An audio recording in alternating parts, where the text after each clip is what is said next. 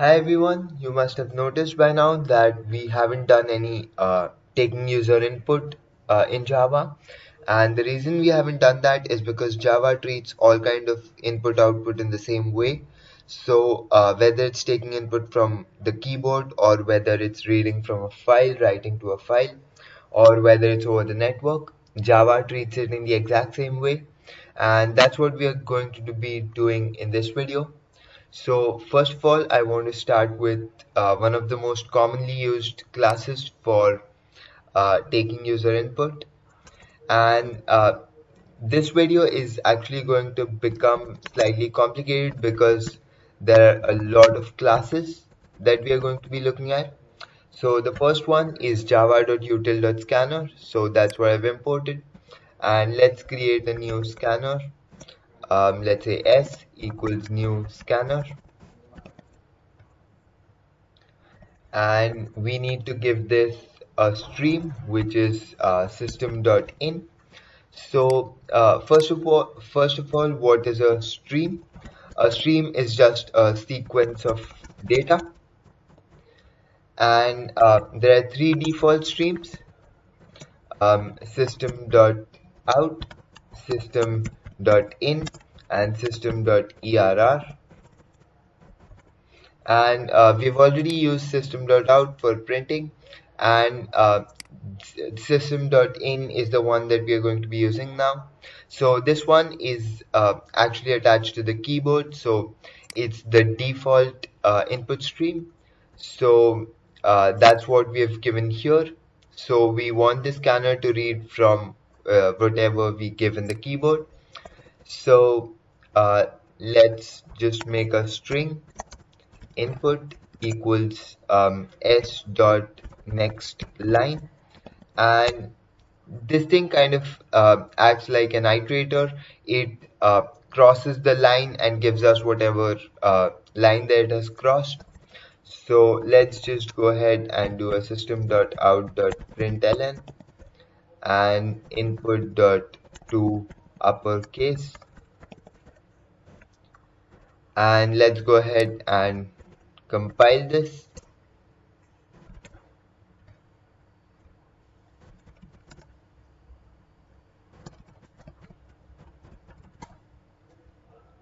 And let's run this. So it's actually waiting for me to input something. So let's say I enter Java uh, it prints out Java in uppercase and uh, terminates the program. So uh, we have actually managed to read user input from here.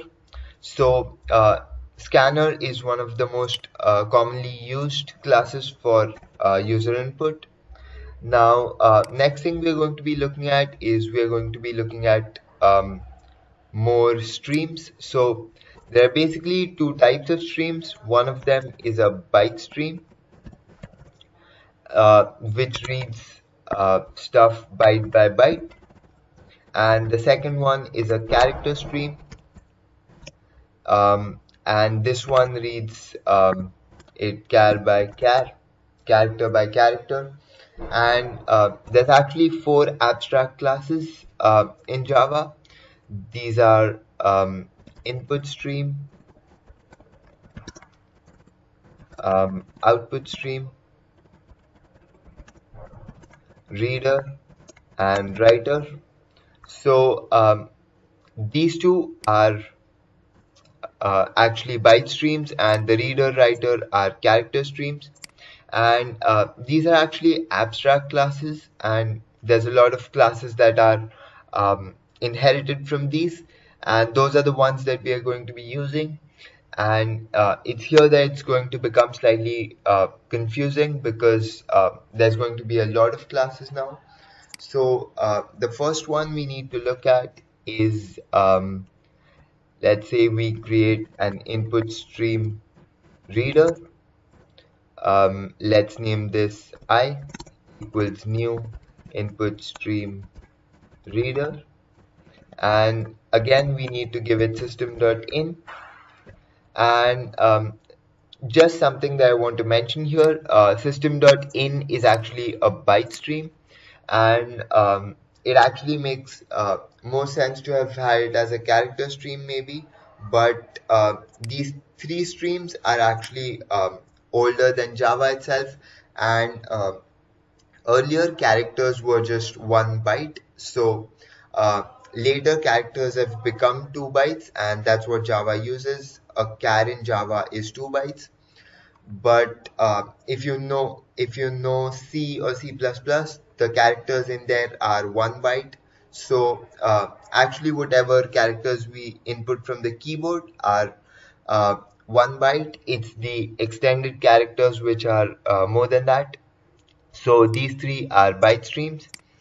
And um, let's come back here. We've created an input stream reader and let's just do the exact same thing. Let's just um, um, actually we won't be able to do the same thing. I'll tell you the reason in a bit. So what we'll do instead is just do a system.out.println and um, let's just read i dot read and let's convert this to a character. And um, I expect an error here. Um, that's basically uh, because it says cannot find symbol input stream reader. So uh, one thing you should always remember is to import java.io.star for things like input stream readers and um, other streams and readers etc and another thing that um, let's just compile it again. I'll get another error. It says unreported exception. And that's basically because uh, these uh, streams and readers they throw IO exceptions.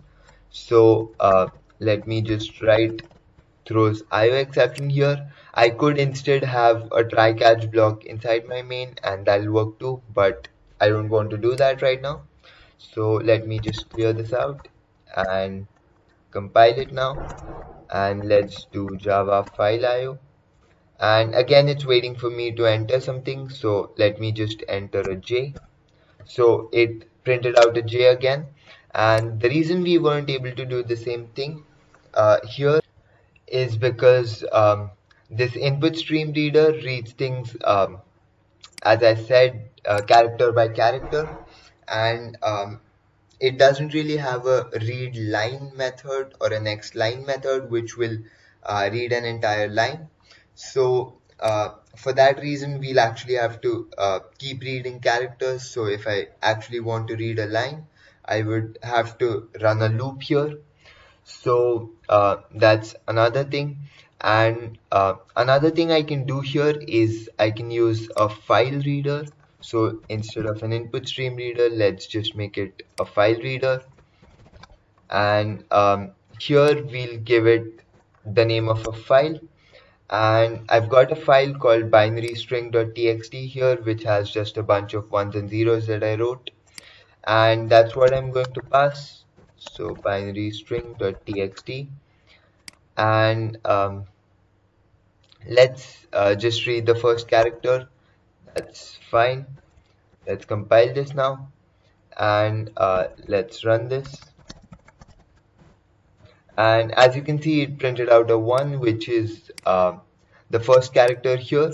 Uh, we could actually even run it till uh, for the entire 8 characters. So I can actually just do for int i equals 0 um, i less than 8 and i plus plus and just keep printing for 8 characters.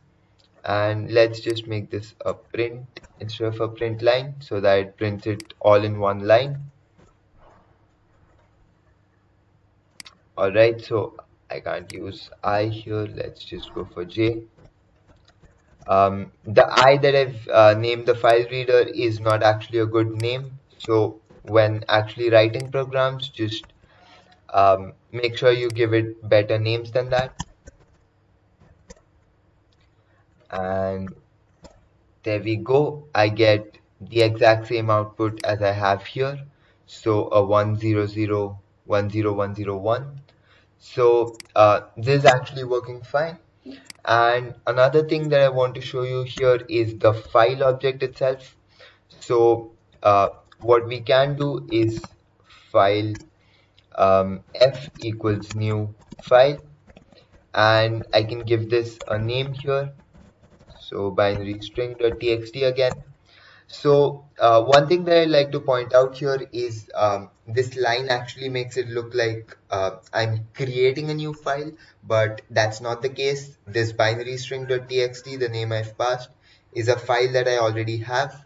And what we are actually doing here is we are creating a new file object in Java. And this file object points to this file called binary string. So that's what we're doing. And um, there's quite a few things we can uh, do with this file um, system.out.println let's just copy this once and um, I can do f.is file and um, I can do f dot is directory. And I can do uh, can read I think.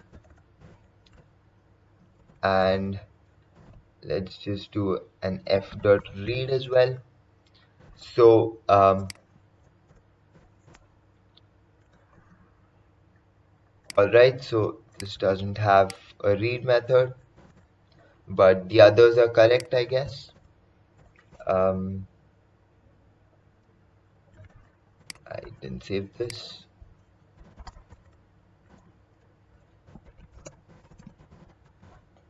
and it prints out true, false, and true. And the questions that I've asked, it, asked are uh, is file, so it says yes. Uh, is directory, it says no. And um, for can read, it says um, yes again.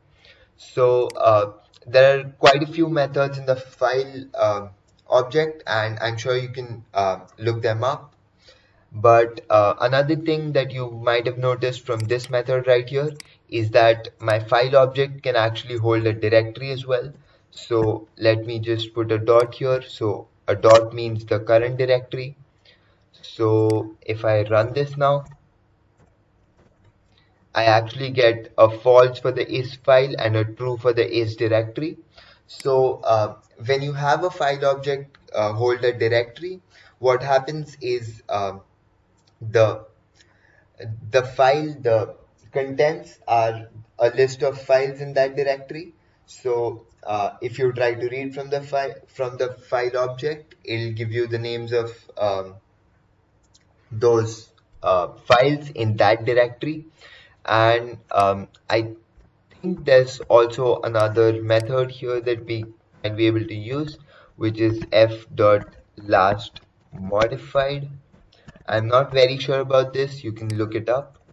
But I yes so this gives us a timestamp of when the file was last modified. So um, these are all the methods that you can use in the file object and there are a lot more um, be sure to look those up. And uh, there's another concept of a buffered reader but um, I think this video is already uh, past 13 minutes so let's leave that for next video. Um, I hope to see you there